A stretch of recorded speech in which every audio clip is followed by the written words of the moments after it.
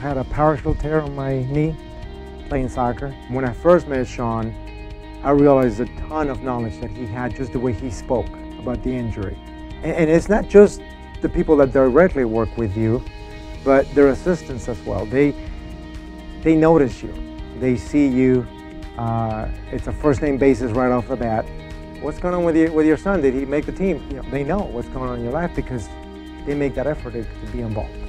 They're, they're, motivators. They, they get you going.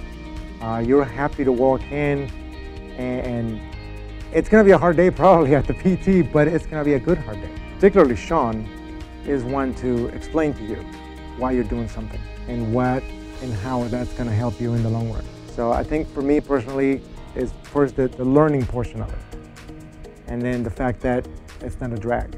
So the first result with the knee was not only reinstating the knee back to running form, playing form, but it was understanding that there's other portions of my body that need to be just as strong, if not stronger.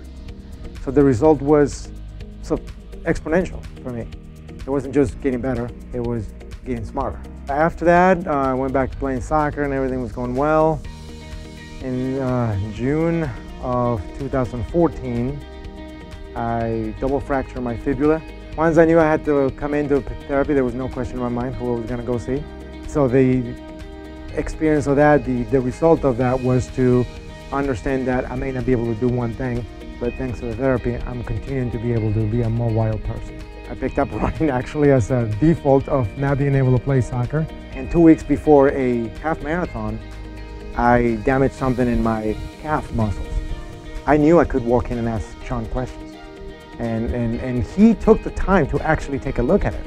When the question has come up, I need to go see a physical therapist, my wife and I immediately um, we say, hey, if you don't have one, we know an excellent one because we, we so trust what he does.